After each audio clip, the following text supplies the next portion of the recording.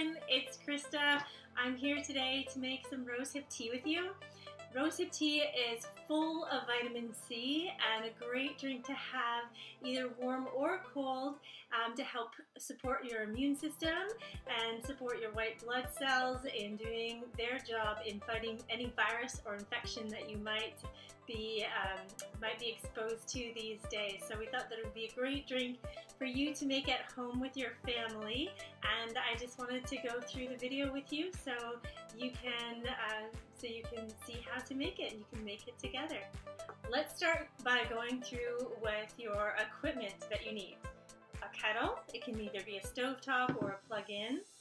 You'll need a small jar to put ginger juice and lemon juice and rosehip powder in to mix it before putting it into a large jar, which you can serve it from.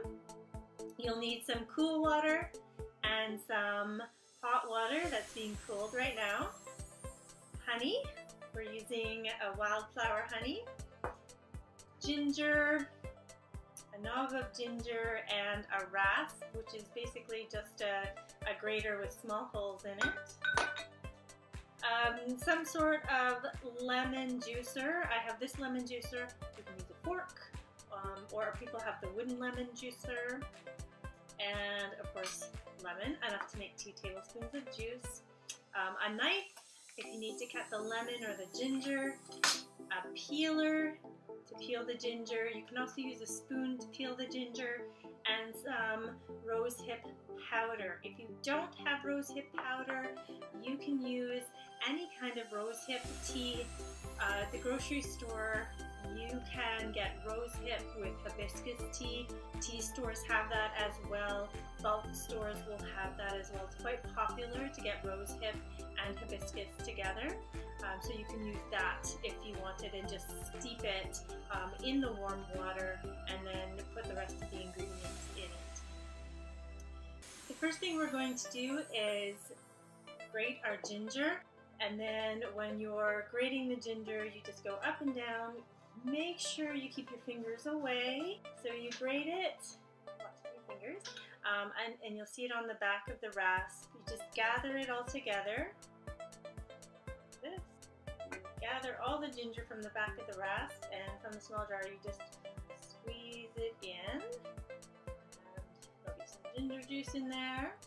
The next ingredient is the lemon. You can squeeze the lemon on the squeezer or with your fork until you have two tablespoons of lemon juice and that goes into the jar then the next one is the honey. And I take two tablespoons of honey and add it to the jar. Then I'm going to add my rosehip powder. I give it a, a, mix in a smaller jar first. You can put it in a measuring cup or um, or a glass and just mix it together. I find that um, when I mix it with less of the liquid, then it works um, it works better uh, to uh, to take the lumps out. and then I'll add just a little bit of the liquid in here.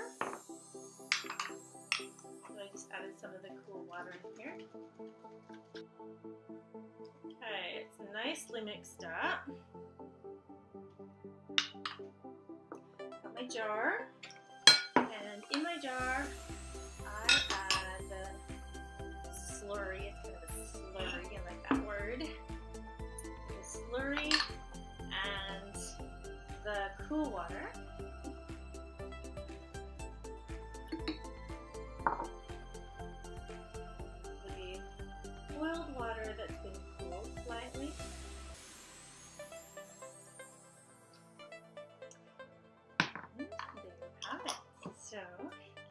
a little bit of a mix.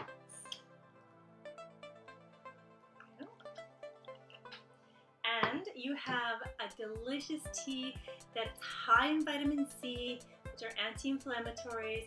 It's got honey in it, which is an antiviral, a ginger, which is a warming spice, which can help your body fight off infections, uh, and it's delicious. Uh, so enjoy your tea. I hope that you have a chance to make it at home and follow us along with more Earth Bites videos. We look forward to seeing you again soon.